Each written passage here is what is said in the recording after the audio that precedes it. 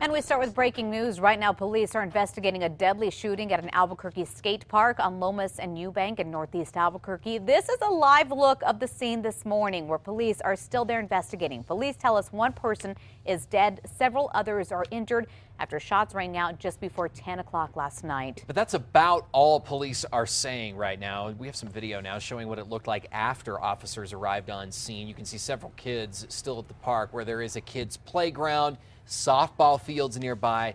Police are not saying what led to the shooting, but witnesses do say it started as a fight, and then one man went to his car and grabbed a gun and started shooting. And for some, this deadly shooting is a reminder of the past at that skate park, from beatings to fights caught on camera. Yeah, News 13's Catherine Mazzone is live at Los Altos Skate Park with what she's dug up as we continue our team coverage this morning. Good morning, Catherine. Oh, that's right, Crystal. First, I want to show you what's going on behind me. As you can see, there are still multiple officers on scene here. Now, last we heard from them, they said it would take a while to process this scene. They say they have a lot of witnesses to talk to, and you can see well, I don't know if you can see, but I can see a number of evidence markers behind me, a lot to sift through before they can figure out exactly what happened last night. And as you mentioned earlier, this this skate park has seen a lot of violence in the past. Now, it isn't the first time fights broke out. Back in December, three people were arrested for viciously beating a man. Two men and a woman were charged with kidnapping and aggravated battery with a deadly weapon. Three years ago, in 2012, videos on YouTube surfaced showing the skate park home to brutal fights, some of the brawlers even wearing MMA gloves. One video even shows young children going at it. Now, after that, the city says they'd have workers at the city sports office keep a close eye. But that didn't keep violence from breaking out last night. One person is dead and several more are injured after someone started shooting.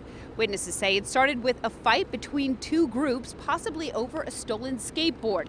Moments later, they say someone went to his car and came back with a gun. That's when the chaos began. I don't know, I can't even explain it because I'm just hoping my sister's all right because I don't know really what happened, but they just start shooting and stuff, and my my godmother and stuff were just holding their kids. You could see the fire from the guns, and it wasn't even it wasn't 10, it wasn't 15, it was like more than 30.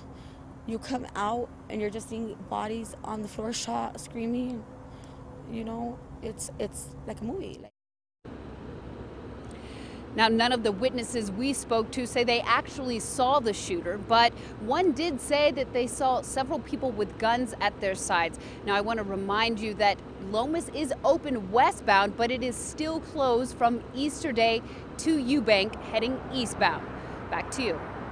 All right, thanks for that information, Catherine. Very tense moments. Police have yet to identify the victims in last night's shooting. The woman you just heard from, she actually told us earlier that some stranger had to shield her son as the bullets were flying overnight. Now, KRQE News 13 will continue to follow this deadly shooting and bring you the very latest as it does develop on air and, of course, online. That's at krqe.com.